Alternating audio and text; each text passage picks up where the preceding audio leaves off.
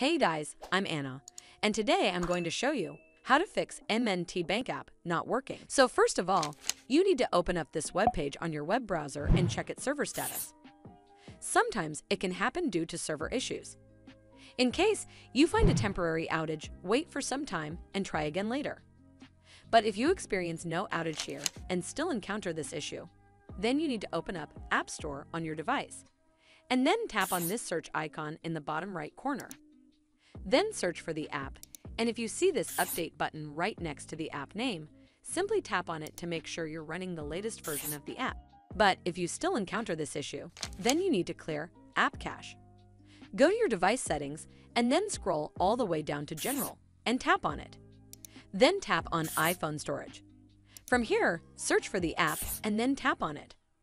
Once you're on this screen, you need to tap on Offload App. Tap again to confirm. It'll take a bit for processing, and then a reinstall button will show up. Simply tap on it to reinstall the app. This should fix the issue, but if it doesn't, then you need to completely reinstall the app. Follow the on-screen instructions to navigate all the way to the app page. Once you're on this screen, tap on Delete App to uninstall the app from your device. Once uninstalled, open up App Store and then search for the app here. And then click on this Get button to install it back on your device. Hopefully this will fix the issue. And if it did, then make sure you give this video a super thanks by clicking on this heart icon to help support the channel. And don't forget to hit that subscribe button. We'll see you in the next one.